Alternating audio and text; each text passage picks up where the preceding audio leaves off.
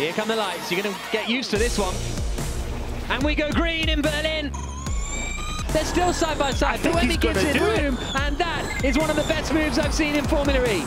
Towards the end, I was sort of getting involved in other people's mess, and unfortunately got caught up in it and got spun around. Good to hit Evans, and Evans is sent spinning around, and he drops a long way down the order.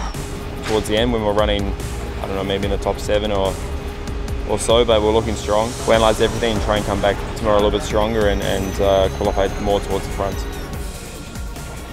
Towards the end of the race, started to uh, come back at good pace. Uh, but it's just good to learn the track finally. Uh, last four laps I really came to grips with it and felt some confidence with the car. And we got a good little baseline now for, for tomorrow going forward and um, fingers crossed for no problems and uh, a better result.